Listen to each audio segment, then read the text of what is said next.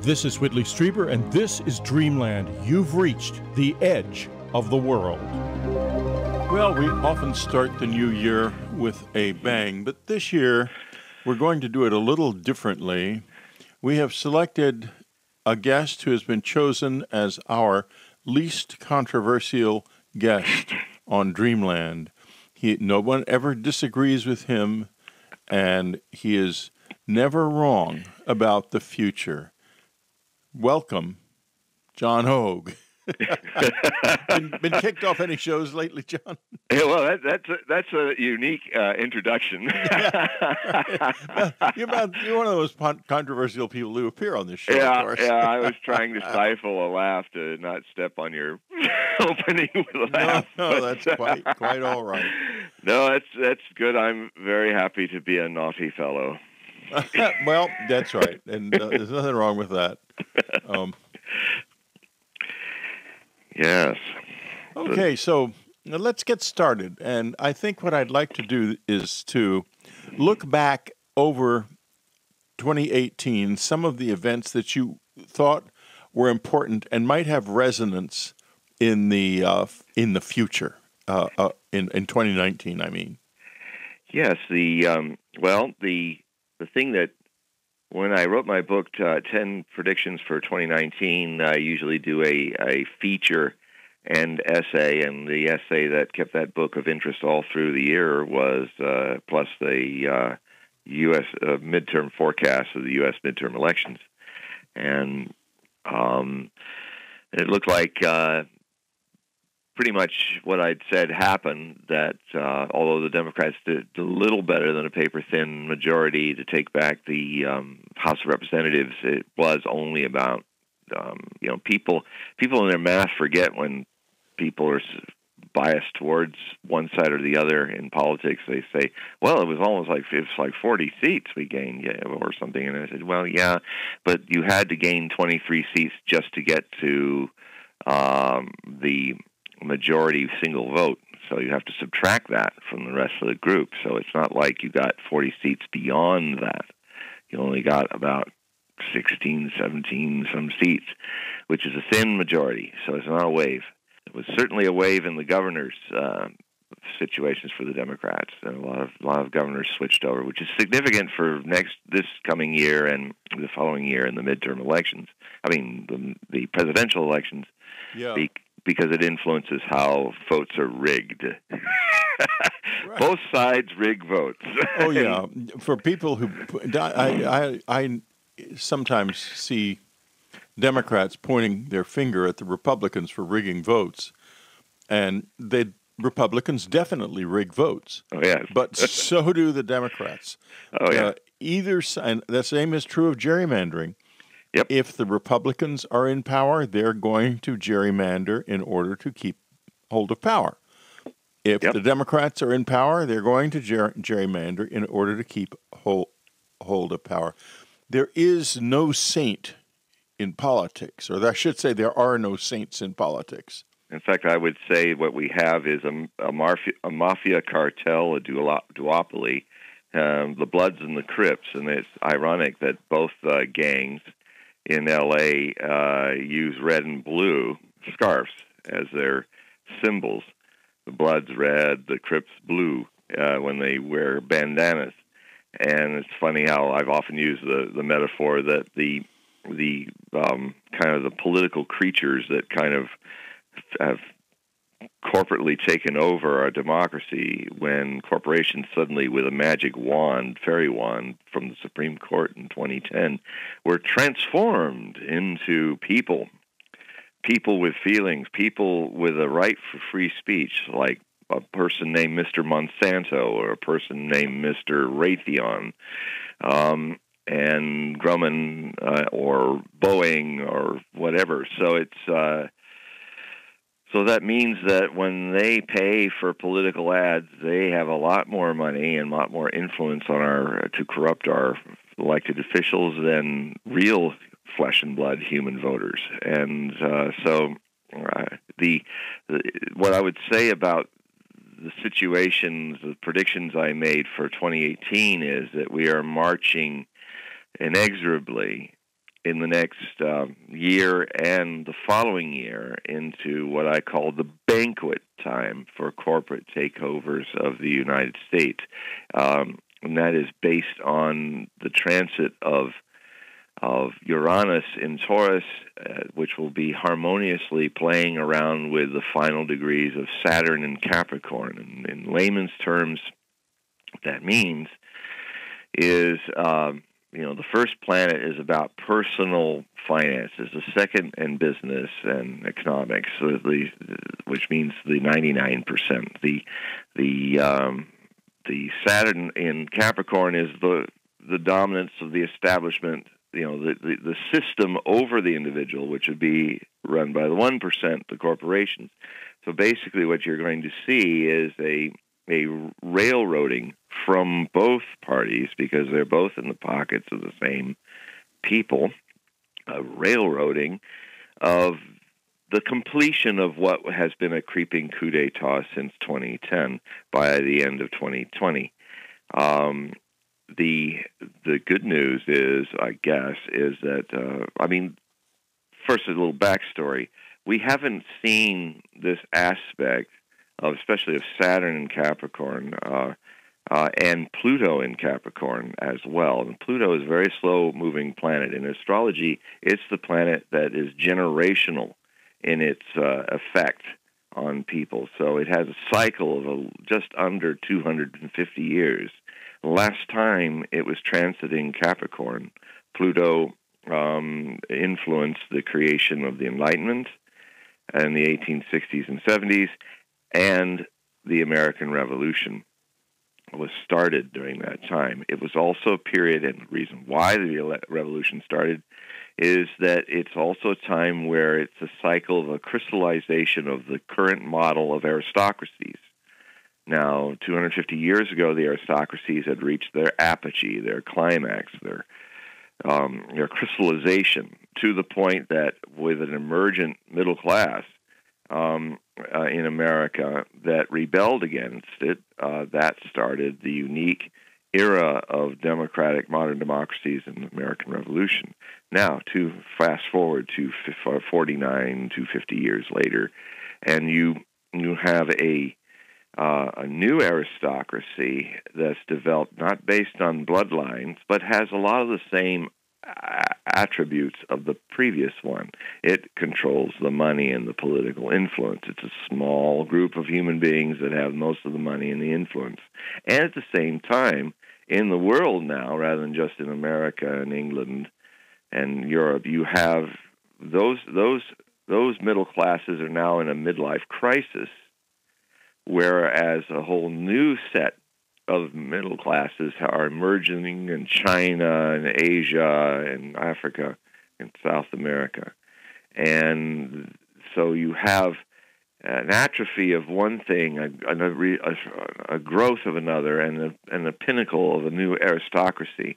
This, by the way, when we get into 2021, when Saturn moves back in when sorry when Pluto when moves back into Aquarius after Capricorn, which it hasn't been in for 250 some years, you're going to see the beginning of another century of revolutions.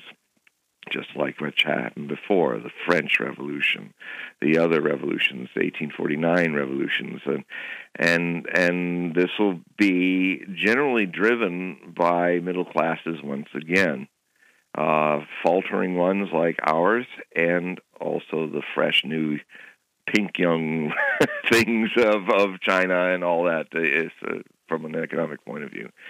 So, so uh, that that issue. The other thing I was right about is that Trump would survive his first two years.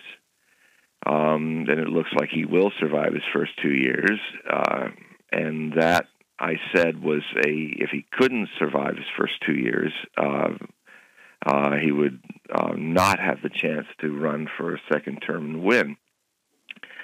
And uh, he actually uh, is closer to that step than before.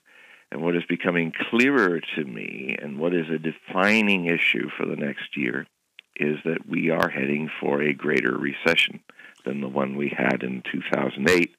And the prelude, the we're already starting to see little hints that it's on the way, but it's probably not going to really come to the surface tension of the lamestream news until uh, we're in autumn of of this coming new year.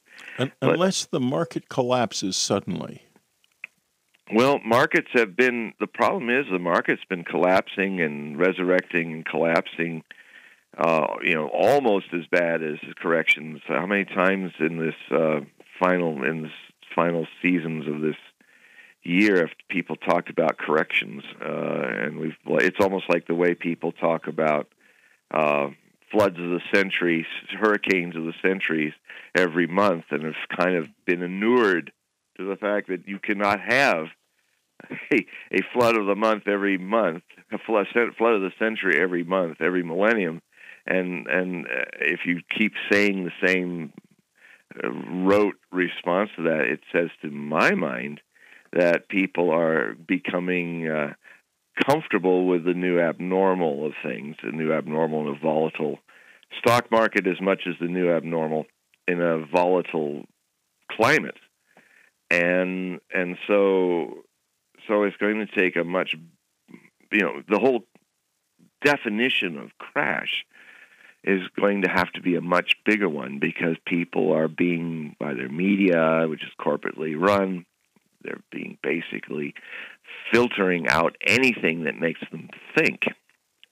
And uh, so when that happens and a person is being forced, or a whole society is being forced to be a dullard, uh, it takes a big plank of wood over the head, bam, to make yeah. people notice that there's something wrong. And that plank is coming probably more likely in the next year of 2020, and certainly uh, a crisis of, of the very existence of the fiat economy that's been around since 1971 that will happen in 2021. Now, when you say well, well, woo, wait a minute. Free Dreamlanders, we're going to take a little break right now. Don't forget to go to HogueProphecy.com and explore John's work. It's fascinating stuff, and it ain't expensive either. So do go to HogueProphecy.com. We'll be right back. Whitley Strieber has published an incredible two volume historical novel called In Hitler's House under his open pseudonym Jonathan Lane.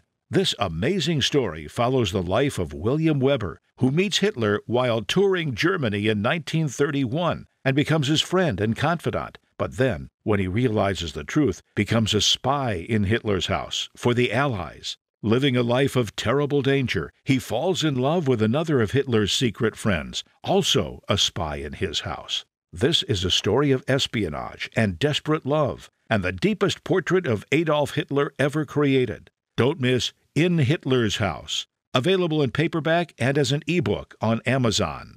The new UnknownCountry.com is on the way. There'll be exciting new graphics, much easier navigation, the ability to subscribe either with your credit card or using PayPal, the return of our free message board and subscriber chat room, and so much more. The new site will be intuitive and easy to use, but it will also be demonstrated and explained on Whitley's YouTube channel.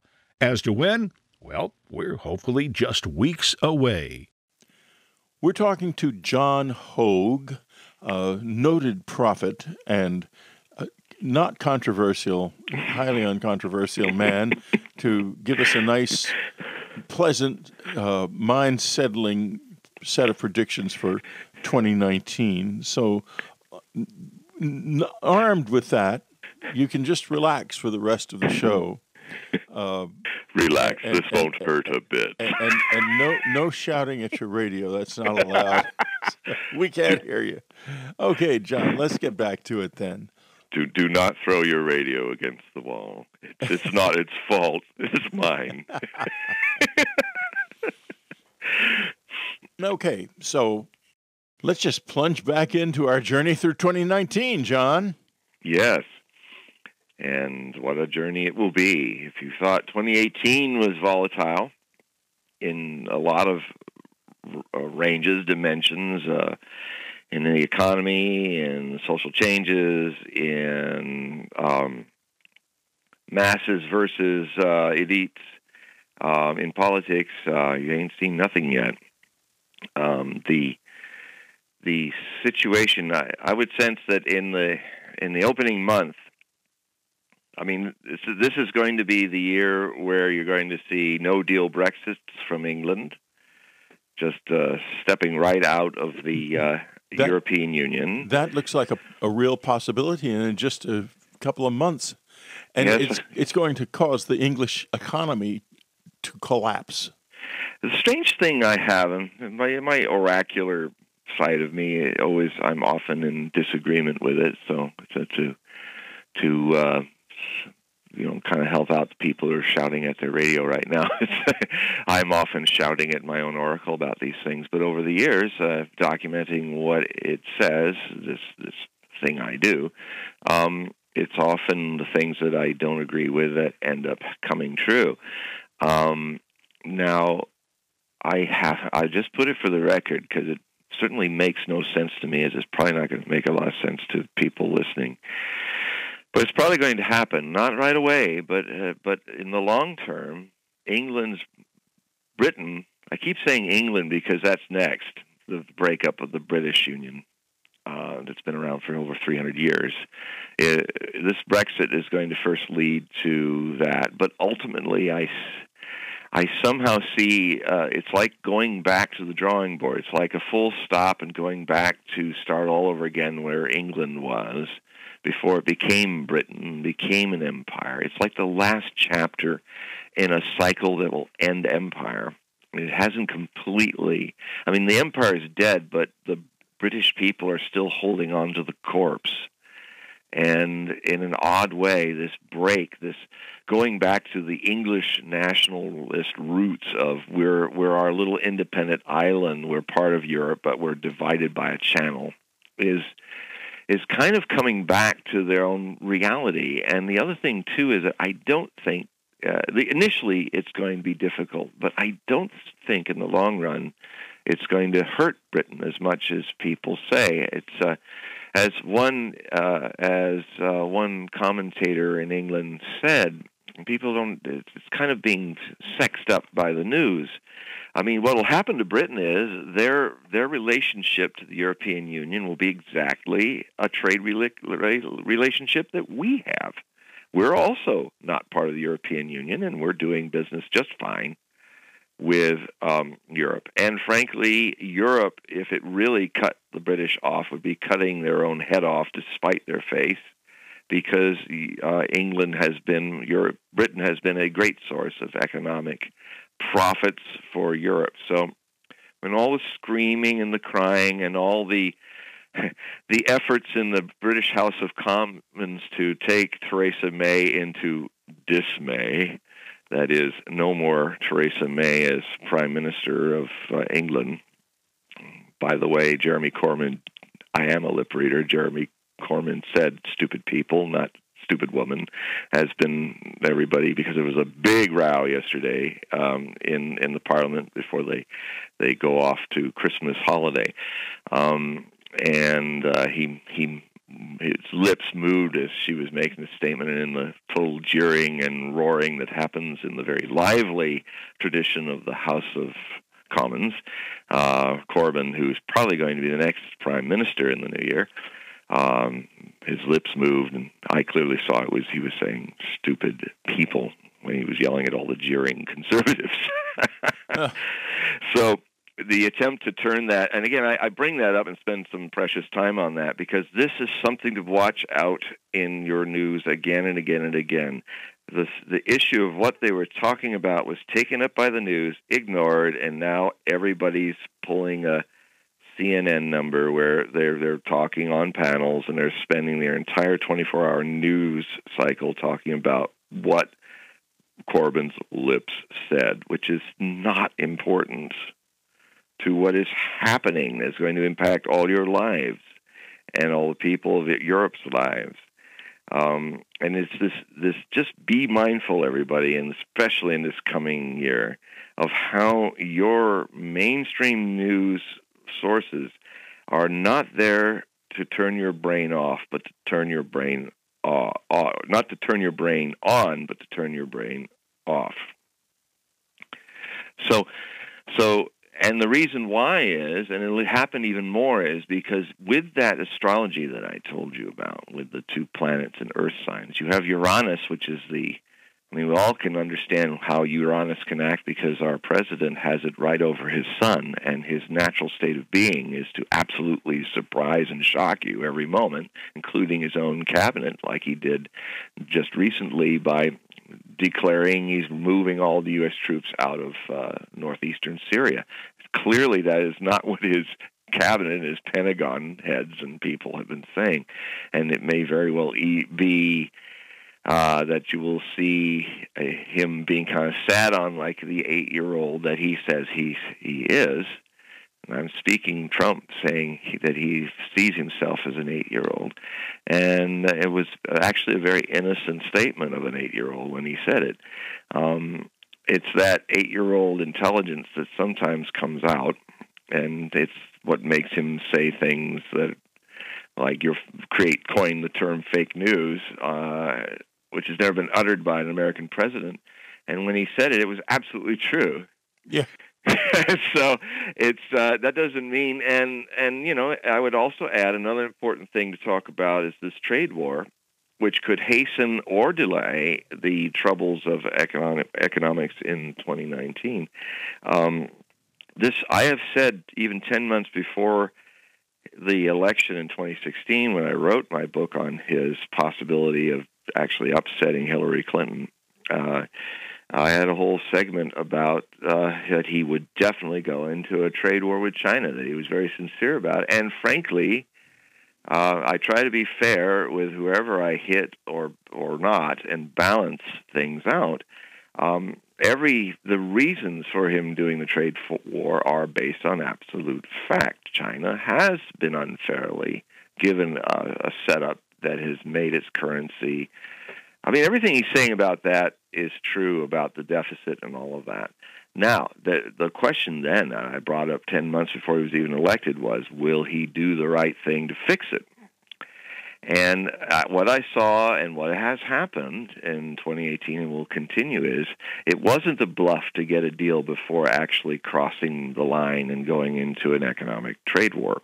Uh, he, I said he's going to bring on the pain because for all of his faults, he is quite a horse trading wheeler dealer.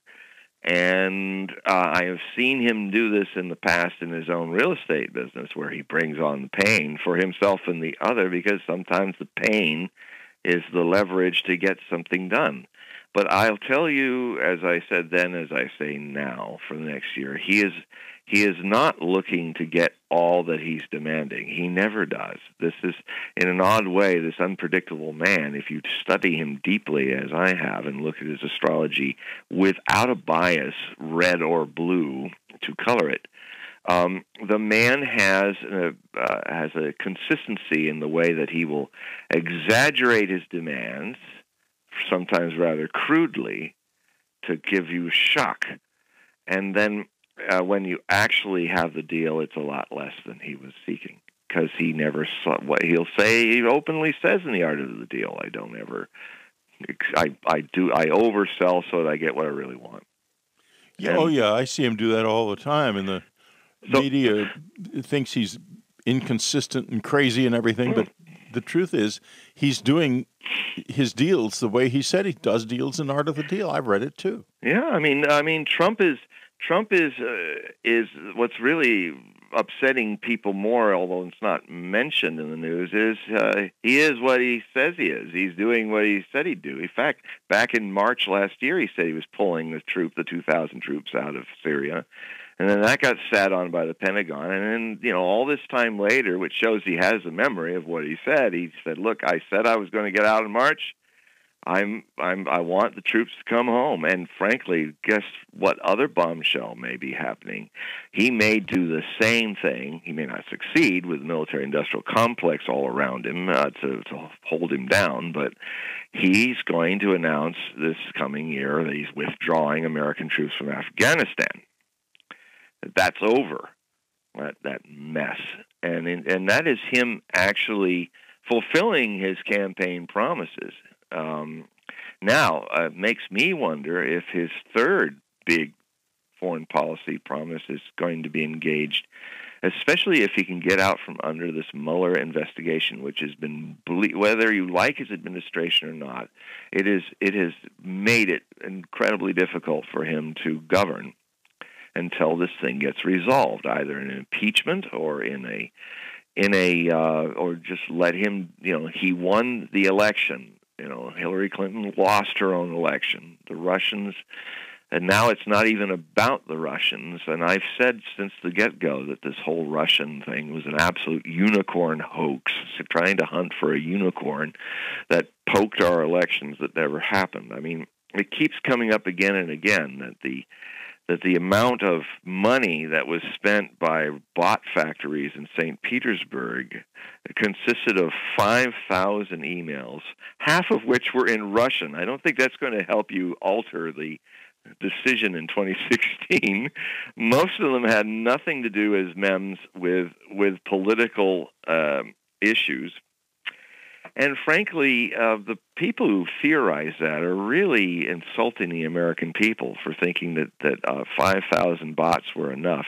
The other thing too is the press, including the liberal press, is completely missing the fact of the Republicans in Republican states systematically pulling hundreds of thousands of people per state off their voter lists. And only one intrepid reporter, Greg Palast, has been out there documenting this reality.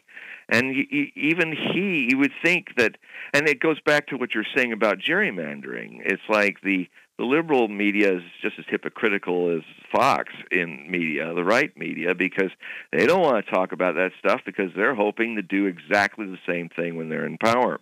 So poor Greg, Greg Palast is out there, hardly known, and he's actually documented a real scandal that that really could have had an effect in all those states to to uh, steal the election. But it wasn't Trump, it wasn't Russians, it was Republican uh, governors um, using this system to take people off the ledgers.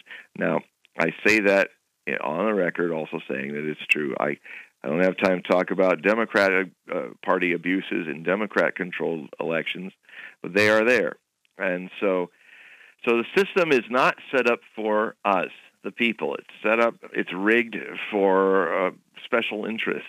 And that brings me to another issue that's going to come growing, growing in 2019, and that is um, an urge.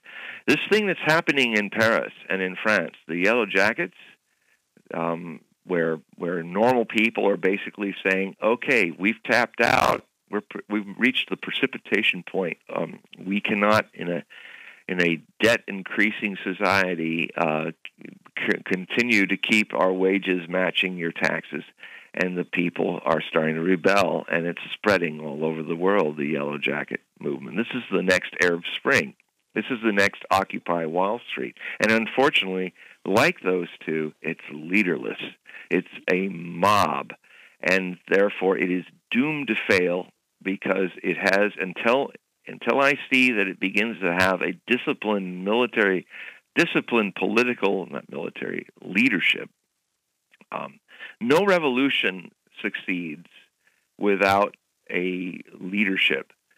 Um, well, that's absolutely right. It, it's it's un, it's unhappiness and disquiet. Yeah. And now we're going to take another little break, folks, and then when we get back, we're going to get into the why is the world so discontented? Because that is here in the United States, it's in England, it's all over Europe, it's really all over the world. We'll be right back. They are found deep in a dying jungle, six infants. They aren't apes. They aren't human either, not quite. So, what are they? When they are spirited off to the United States, an incredible discovery is made. They are as smart as us, but not us, not human. The company that found them wants to buy and sell them as the most valuable animals on earth, brilliant workers who need not be paid. Somebody has to stop this travesty, and that's where primatologist Beth Cook comes in. But can she stand up to the power and wealth that seeks to exploit them? Find out in Whitley Strieber's first standalone science fiction novel in seven years, New. Get it on Amazon as an ebook or paperback.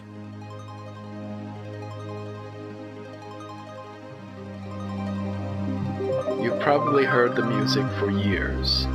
It's the theme song for Dreamland. But you may not know the name of the piece, The O of Pleasure, or the name of the composer, Ray Lynch. Ray Lynch is a three time Billboard Award winner. Ray is also the composer of the platinum album Deep Breakfast. Pandora calls Ray one of the most influential artists in New Age pop and adult alternative circles. Aloha, Jeremy Vaeni here, and I want to tell you about my latest undertaking, OurUndoing.com. OurUndoing.com is a multimedia website where if you watch, if you read, if you listen, without trying to absorb knowledge like we do with normal learning, and without the normal judgmental filters that we use to compare and contrast so called spiritual knowledge. If we watch, if we read, if we listen without all of that, we may just wake up to our full human nature. That is what this website is for. It's not about what we're doing, it's about who we are, truly are, when we're off the pendulum of duality. If your life is about seeking truth above all else, look no further. Join me at OurUndoing.com. We're talking to John Hogue, HogueProphecy.com, and we're talking now about a world in social distress. I wouldn't say in upheaval yet, but it's distress. In the United States, people are angry. In Europe, people are angry. In all over the world, and even in in parts of Asia, it's true. So, what is what's fueling this, John? It is in many things, but the the thing that's most tangible for us, the thing that's going to become, especially next year, more the uh, a, an actionable source of the problem, is that we ha- we are now living at the end, the final stages of the fiat economy, which has began in uh, 1971 when America, well, first France and Switzerland, and then America took the most powerful uh, reserve currency in the world over to it because he could Nixon could see that this was coming, and we started floating our currencies off the gold standard.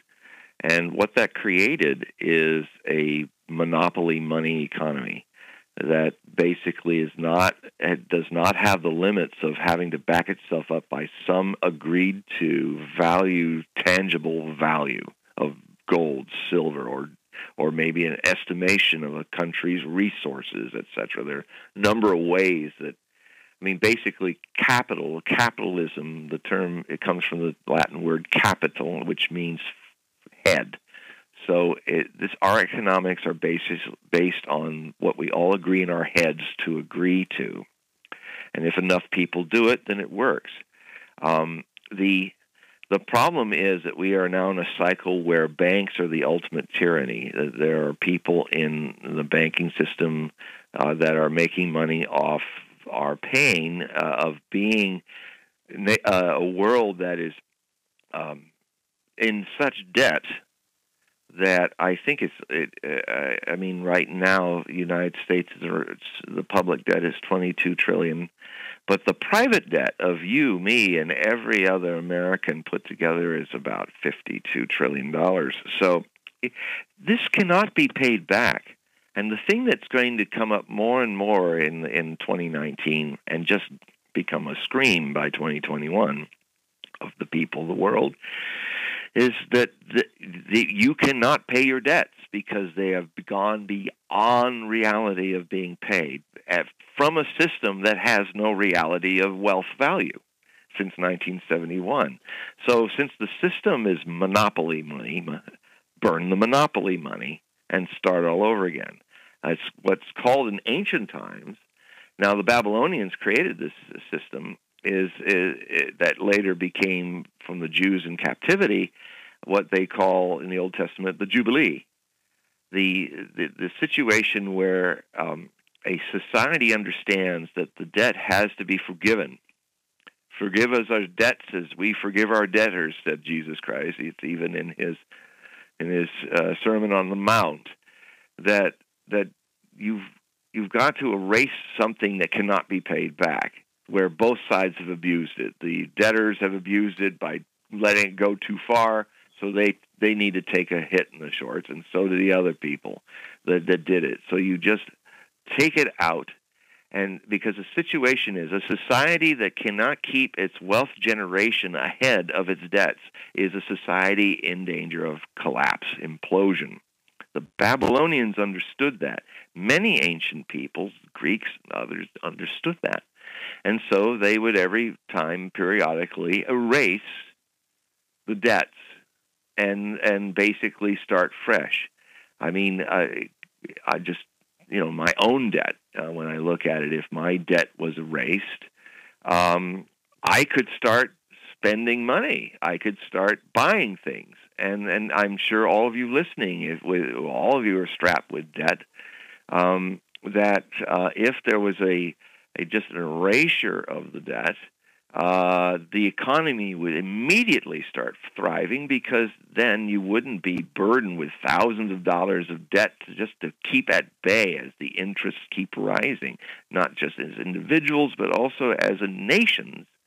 Um, there would be a, a I foresee there will be a tremendous resurgence of the economy because people could then go out and buy the things they need um, and and things they want, which would create more jobs and create uh, more wealth, and then we would be back into the system again. And hopefully, this time, certainly Russia and China and other nations are seriously seeing this thing coming.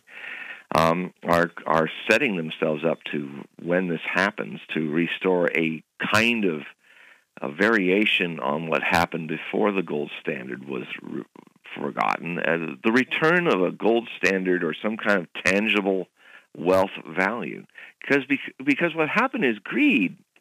When when money when money is no longer limited by how much gold you have to back it up, or whatever you use to agree on to back it up, then what that does is, in a slow, steady state, if you look at expenditures from 71 on. This is the year zero where where we got to where we are today, where things slowly got more and more expensive, commodities, goods and things, houses, and it's because it's kind of a subtle thing. The greed factor in unconscious people is if you're uh, making assessments of value and you get a percentage of the value of the monopoly money, if you're playing this monopoly game, you are encouraged, if unconsciously, but encouraged no less, to over the years make things slowly more and more expensive because then you make more and more monopoly money. And then it's a positive feedback loop because then then you have to even if you didn't do it before you have to make things more expensive to keep up with your own expenses as the monopoly money which has no reality is just mathematically made more expensive. And and so the system is about to collapse. It's it cannot sustain itself much longer and the recession is going to be a big plank of wood over the head of people saying wake up. And this this is really and this is the other issue that's coming up in a Uranus, Saturn, Pluto, all in big Earth signs that deal with business and personal and, and transpersonal finance. Not only are the people who are trying to who are trying to take it completely over going to do that, but it's almost like don't don't wish for your goal to be achieved because uh, by 2021 when when uh, Pluto starts moving into Saturn, the people are going to rise up. You're going to see mass revolutions in the streets. You're going to see, hopefully, peaceful, and hopefully, because of the crisis, unlike the 1849 uh, European Spring and the Arab Spring, uh, which are examples in the past of leaderless rebellions of the people in pain, um, they, those are the kind of revolutions that are also punctuated by revolutions that have leaders. Uh, the American Revolution, right. the French Revolution, the Russian Chinese Revolution, where, where, the Brown Revolution of Adolf Hitler. Unfortunately, I have yes, put that in too. But where would a leader like in this country come from? Because it's so divided in the sense that there are people who want to overturn the system concentrated on two opposite ends of the political spectrum. And the vast majority of people in the middle, where I am and most of us are, don't want anything to do with that. Yes, this is a good point, and and the the, the it may take until the middle of the decade before we really see uh, a turning of the tide, astrologically speaking. Um, but but in this process to get there, um, something I've been talking about for 20 years is that um, this people have constantly tried to fix the broken system through the broken system the, the duopoly of the Democrat and Republican control of the system. The whole concept of parties, not just Democrats and Republicans, the concept itself of parties is a polarizing, self defeating setup to keep you all divided, blue and red, against yourselves, and to uh, enhance the extreme sharp edges of both who are the most stridently screaming on both sides, at the complete forgetting of the silent majority, the invisible majority of Americans who are generally um, socially tolerant and fiscally conservative. Um, the it is this vast sea of people that when they awaken, they will have to awaken outside of the system. They will have to finally understand that you cannot be Bernie Sanders supporters and go into that Democratic machine where it's rigged, openly rigged with super delegates. And not only that, I have in my book on Hillary Clinton the actual contract that she signed with the DNC that would use her money to get them out of a financial hole because of the last presidential election in in 2012. Uh, uh, but it was, uh, but she basically, long story short, the Democratic National Committee sold itself to her, and she ran the Democratic National. Her people ran the committee and made sure, before it even started, before there were even super delegates counted, that she was going to win. Talk about collusion. Um, that uh, is so that is so uh, un-American, and a lot of the people. I wonder how many of you still remember in the Democratic convention all those people with blue tape on their lips uh, with censored on it uh, that were Bernie Sanders supporters. But still, still, you go back to the Democratic Party. You embrace the lesser of two evils, like a woman embracing the lesser. Oh, I'm less pregnant because I just got pregnant today than I will be nine months later. No, you're, when you're pregnant, you're pregnant, whether it's a, a baby bump nine months later or not. And the same thing, uh, using that metaphor to these two parties. And I equally say to the people on the red uh, right who who uh, also took their Bernie Sanders, which was Donald Trump, another anti-establishment candidate, and now he got in there, but now he, he's like once he gets to Washington, he's starting to talk like all and do all the things that he did not say he would do. Although, in to his credit, with the Syrian thing and some other things, he is trying to to do these things in some cases. So, in both cases, you're being sold. You're being you're you're not in control of your system, and if the the voting system that you're given is controlled by these two parties, so that no other parties can happen then that is you are going to with each moment into 2019 into 2020 and 2021 you're going as a people to have to realize especially this sleeping invisible majority is going to have this this revolution is going to come from you not from the extremes. The extremes are part of the problem. Um, and and so I've been, I will, and I have with my book uh, Beyond Alt Right, Alt Left, a community of Americans, which is available in Amazon as a printed book and a and a uh, ebook. I have been talking about how that happens, how you get beyond the system of party politics, which the founding fathers were completely against and I would even say to you that in the future, Americans, after this whirlwind of a decade, may actually make political parties uh, in the amendment to the Constitution illegal, uh, as well as uh, lobbying, as well as fi- uh, any special interest money, So there's only one lobbyist for the United States people. It's the American people, and no no Raytheon, no military industrial complexes that are stealing half of your taxpayer money in the rate that the Soviet Union did at the moment of their collapse in the late 1980s, when an empire overstretches itself militarily, and when the people are actually spending over half of if the government is spending over half of your money into military budgets,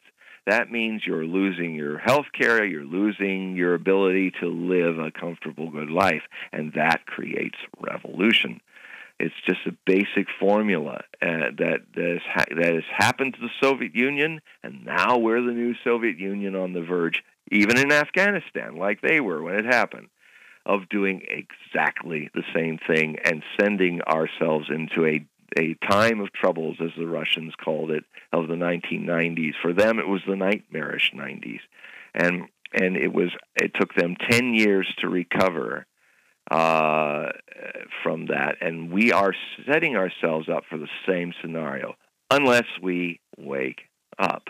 And you're not going to find it from your media. You're not going to find it from your political parties. They are selling you and betraying you they are traitors to your Constitution. So, where do we find it?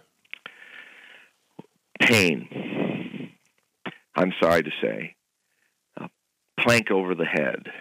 Um, the, the, the reality is that individuals find it. There have been throughout history people who've anticipated, and that's my main field of forecasting, have anticipated these things coming sometimes hundreds of years before they come, certainly decades and years before they come. I'm doing it now. I'm one of them, these people throughout history that are telling you these things coming. And most of you are not listening. It's just the nature of humanity that until until we evolve slowly out of this childhood phase of human consciousness and childish phase is when you can tell. I mean, in the future, societies will say you'll know a civilization is not matured, not grown up yet, when it is always curing its ills rather than preventing them. We are a cure-all. We are we are warned of the dangers. I mean, even in the situation of one of the biggest issues that's going to affect the very cellular future of your lives. And nobody in this country yet, but soon in the 2019 it's going to be a major topic. Our, our, our understanding that this 5G technology that's soon to be, the goal is to have it wired uh, all across your cities by 2021 is going to literally give you radar, the military radar industrial strength microwave radiation. Um, and oh, it's basically going dangerous. to I know that. you're going to fry your cells. You're literally and, and and this is the issue in the 2020s that comes up so much. And you know, I had this book that's been delayed, fortunately for three years, uh, because it's now evolved into a much better book than I originally planned. And it's going to come out in the spring called uh, predictions 2019 and into the roaring 2020s. Um, it's going to use next year as a jump off point to give you a view, a vast, broad view of what is before us and the crises and breakthroughs potentially in the 2020s. And so, on so many levels, humanity is now reaching a point where it must evolve. And unfortunately, emergency, emergency history uh, is is usually when uh, people roll up their sleeves when their comfort zones have been destroyed. That's when they start thinking. That's when they start changing things. It's um, and this is the first time that this is not going to be only regional, but planetary wide, and it it has the issues of the 5G. The, the, the, there's a motivation of a when the human race comes to a major change, um, there is a part of the collective unconscious of the human race that doesn't want to face change. So, in an unconscious way, it starts doing things to auto suicidally destroy itself. And and that is if one is aware of that, happening, then there's less possibility of it happening. It's a blindsided thing. It's the reason why the most accurate prophets of the Third World War, uh, who did World War One and Two, uh, were accurate in that, and they have a statements to say about the Third World War. Is it's not in our past; it's in our near future as a potential, and we walk into it with our eyes wide shut. It is that will to self-destruction of of a comfortable past and ego identity that that can't that that uh, when faced with the unknown is projecting its past on it. The unknown is simply unknown. That's the other thing I would like to say that when you're afraid of the uncertain future, you are not actually looking at it with your full attention. You are projecting all the things that you know from the past, things that you don't like, things you're afraid of, onto that empty future. Um, and so it works like a movie screen to repeat your past to you. But if you, but it, with more self-observation, if people actually encounter the unknown uncertainties of the future, you will find that they are simply neutral. That even everything I'm saying, and even the things that are probably terrifying you that I'm saying, are your terror is not about the future. It's about what you've known in the past and how your societies have trained you to repeat your past and think that's the future. I would say to all of you that you've never had a future yet. You've just been regurgitating the past. Your societies, your religions, your your all these systems of control have been uh, dividing you against yourself, um, making you um, part of herd mentalities, um, and uh, making you believe in imaginary friends that are going to come out of the sky and save you from yourselves when yeah. you are the creators of these imaginary friends, and therefore you are the God pretending not to be one. that's that's that's a bad habit, and we all have yeah. it. Yeah. Let, let, me shift now. I want to uh, talk about change, environmental changes because speaking of imaginary friends, um, the visitors told me many years ago that the change in the environment would come upon them unaware. And that has always haunted me.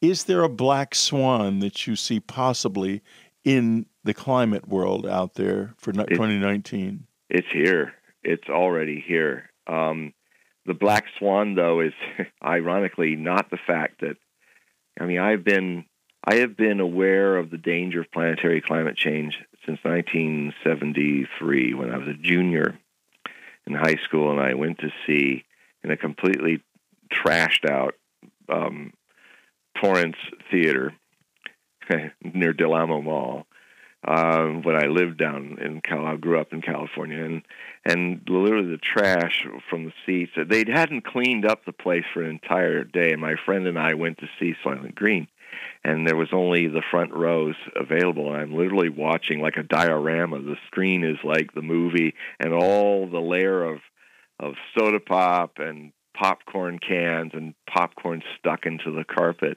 literally seamlessly moved out from my seat and became part of the two-dimensional vision of the future called New York in 2030 population 60 million in a global warming climate um, where food is collapsing but they're still they don't know that Soylent Green which is the name of the movie is not a new soy product. It's people because the the food is crapped out and and uh, it's it's a remarkable work of cinematic prophecy, and it shocked me into realizing. I said, "This is not a movie. This is the future." And if we don't stop it, so I have been watching and recording the weather since 1973, and from my own work as well as studying the science, we have systematically.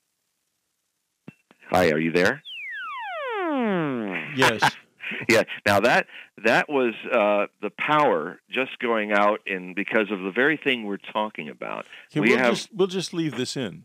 I'm Yeah, not going to take it out. yeah. Leave so what's in. happening is there's a huge gale where he's working in Yeah. in in, in uh, Washington State, and his power has just failed, but his phone is on another system, so he can still talk. Yeah, it's a it's a third. It's a third of um, the. Um, it's the third major gale that we have had.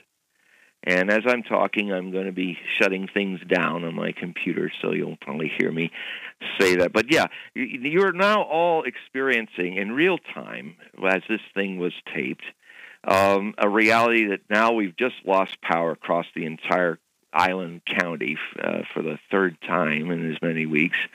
And this is the way the new abnormal has been working um, for us.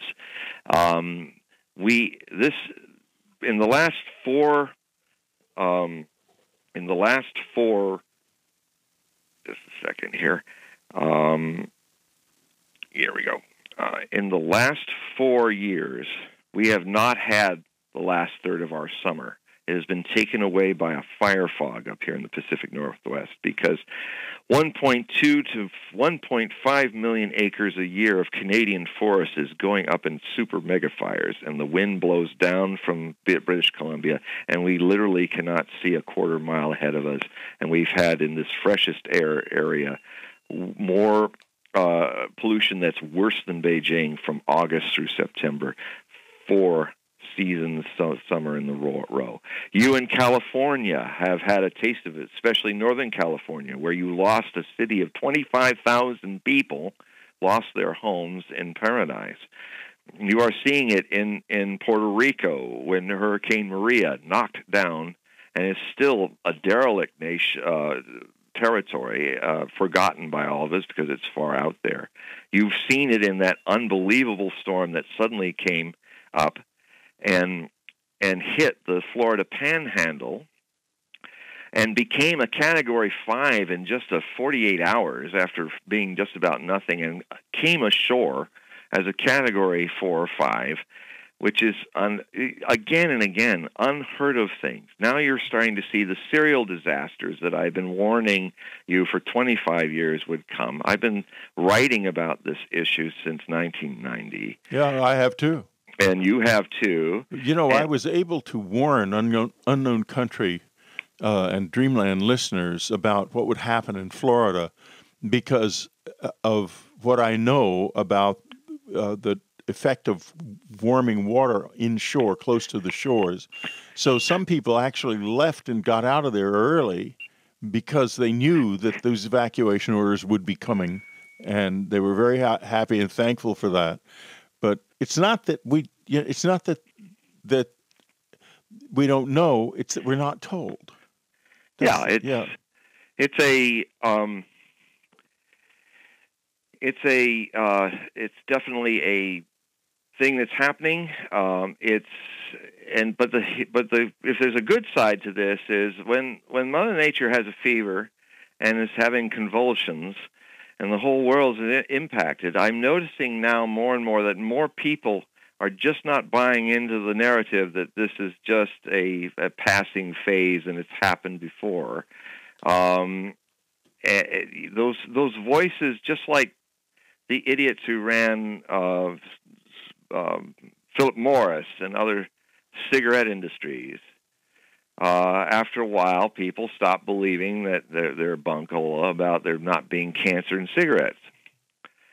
And that, like the fossil fuel industries, um, and the same actually advertising groups are working with them to create doubt in your minds that there that climate change doesn't exist. That has gone all the way up to the top, to the president. And and what the president has done is uh, set up a situation by deregulating a lot of things that is going to make America contribute a 17 to 19 percent more fossil CO2 gas, and this is speeding up the whole system. You'll notice that in the last two years, things have really gotten more accelerant in this in climate change, and that is because uh, America is the second biggest polluter on the planet has embraced the idea of denial. And uh, it's embraced it because the oil companies, you do not hear global warming stories on CNN, Fox, or MSNBC or the networks because they are they take a lot of money from the Koch brothers and other fossil fuel industries. You're not going to see just to what extent your 800 bases across the United, uh, the world uh, is is sucking over half of your taxpayer dollars every year into sustaining an empire that, if it just went home, 90% of all the wars in the world would also go home with it. Um, the, you know, we are we are not defending ourselves. We are perpetuating an imperium that is in its final stages of collapse. But you won't hear that because have you ever noticed if you watch CNN or MSNBC, every once in a while they'll do some military ad for Raytheon or Boeing, and and I'm thinking, why are they putting ads on these networks? Uh, Mr. and Mrs. America watching this is not going to buy an F-16 jet. Don't have money for it. And then I realized this is a dog marking its trail on TV. This is um, this is the the reason these ads are just for show, just a marking, if you will, of of the territory by a dog uh, that uh, will make it viable for them to then dictate editorial policy. It has nothing to do with selling you a jet or a tank. It's a, it's selling the CNN people that they got to listen to them, and that's why you're not going to hear about these things. You're not going to hear how America is actually cause is more the problem in the world than the problems of the world. Um, you didn't hear it in Germany in the 1940s, and you're not hearing it in America right now. And but the, but again, what happened in Germany and what happens right now to the people living there is that reality is coming on your doorstep. Reality just knocked my power out again a third time, which is not. This is more and more frequent. Reality just wiped out paradise in Northern California and kept you in SIG alerts uh, in San Francisco for weeks. Um, and this is not the first bad fire season that people have endured. All all the Hollywood people who hug trees, a lot of them lost their their mansions in Malibu. Maybe maybe uh, that will be a, a plank to the head and a wake up call. I mean, I'm sorry to kind of be playing Jeremiah today when I repent, repent, you know. you know the president but, wasn't but, wrong when he said that there was poor forestry management here in California. Oh, that was that was his eight-year-old saying something really eight-year-oldish. I mean, uh, but it was true. Well, it is. It is. See, here's the thing that a lot of what Trump says is true, but it, but it, but it, uh, when he says that, yeah, I mean they haven't done backburning. I even remember back when I was living in California long ago, in the the end of the '80s, that there was a whole dispute about how there was not enough uh, ground vegetation control burns happening. I used to be a bush fireman, so I kind of understand this, and and uh, and that's and they're right, uh, and that does need to be improved. But the problem is the president is using because he's in denial of climate change. He's using a truth. Nothing is more dangerous than a partially true truth. It's more dangerous than an outright lie because it it's it's exactly the same things ultimately that got Hitler into power. He was absolutely right about the abuse that Germany was given for being made responsible for World War I and the Versailles Treaty. Everything in that treaty was a crime. And it was so criminal that some people who saw it when it was signing even knew that this isn't a peace treaty, it's an armistice of 20 years. We're setting the Germans up to fight another war with us because we're, we're abusing them unfairly. And and so he ran with that, and it was true, but it was a half truth because the other truth was that he was using that to create another war. Um, and he brought the German economy back online to build weapons for that war. And and uh, so so it's far more dangerous when even on even unconscious or innocent people in moments of innocence make true statements and it's true. The raking is a problem but um, but as as was well countered by people in the know in California and Cal Fire, is that uh, yes, but the that may be true, but uh, these drier summers and the lack of rain, as forecasted for California, that would be coming from global warming and the heating of the climate, that we're not getting regular rains like we used to, is drying that stuff that needs to be raked and the stuff above it to a point that all it takes is from these stronger Santa Ana winds that are now more frequently hitting offshore of California are knocking down rusting power lines that need to be improved, that start fires, that burn um, paradise, and probably has burned nearly a thousand people with it. Yeah, exactly. Because they're not saying anything more about the people who have disappeared eh, because they don't even have their DNA since after the rains, all those cars they were in. I mean, when you see two dozen cars sitting on a road, where do you think the people are?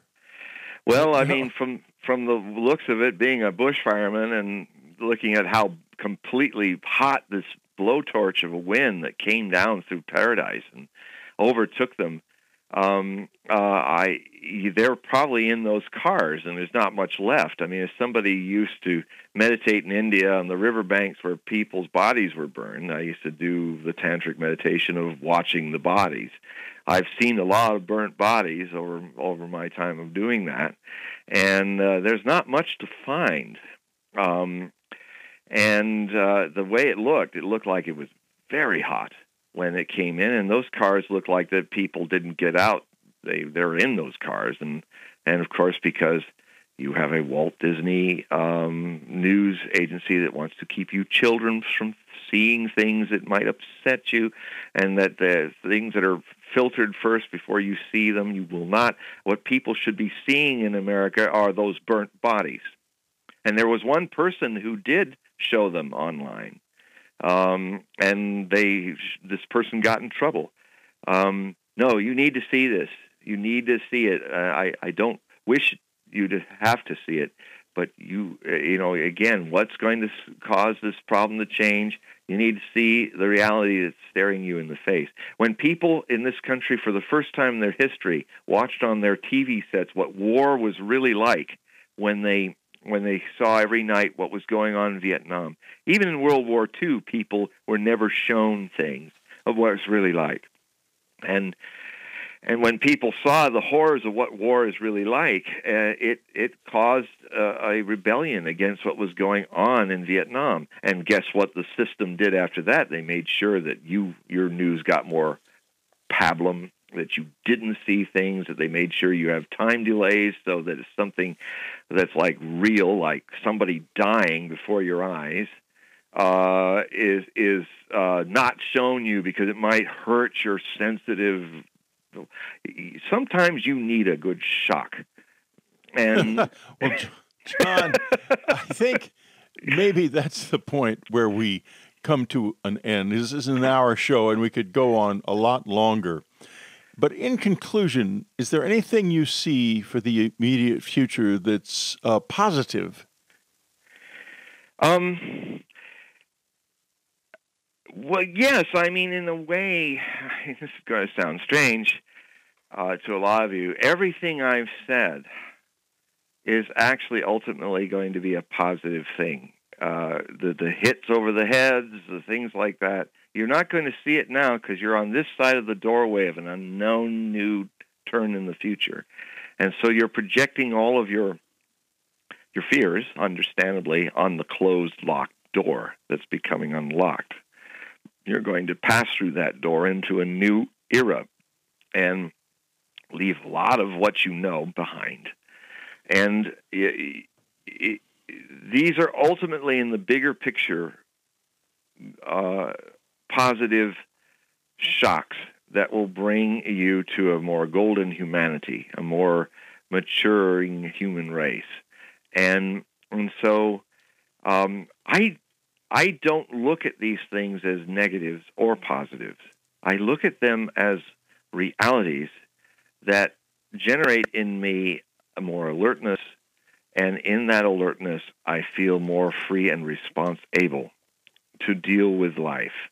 And so um, I'm not here. I've never been a person that that likes that can even comfort people because I see comforting as a form of retarding you, keeping you like children. There, there, everything's going to be, be fine. And that's there, there, John. Everything's going to be fine. now, now, now it's uh, now the uh, you know that's that's understandable to, to cuddle a child who, uh, who is too young to understand things, but you're not children anymore. Yeah.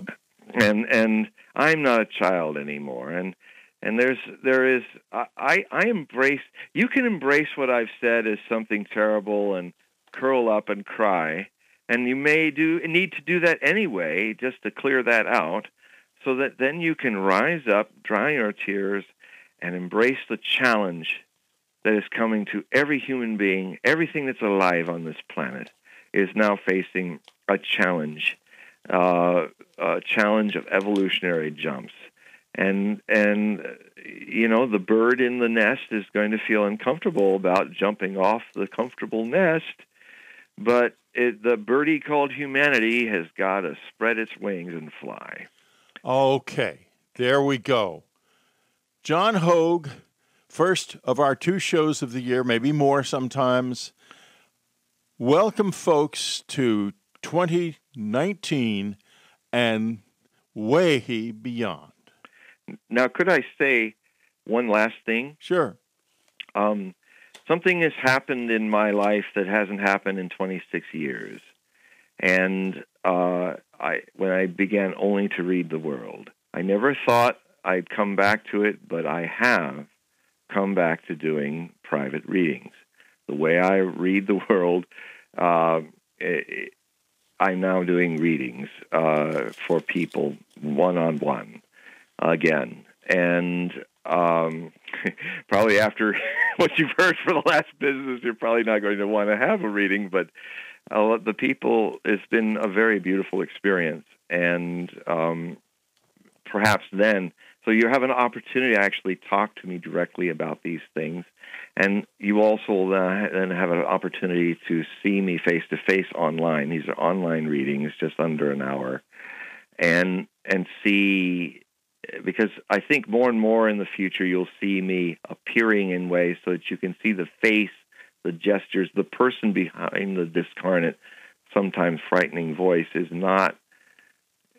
It's different from what the message is, and anyway, so if you resonate with, uh, just contact me at. Uh, at the contact me button and hogueprophecy.com uh, on my website and and contact me whether you want to have a reading or not. Thank you very much, John.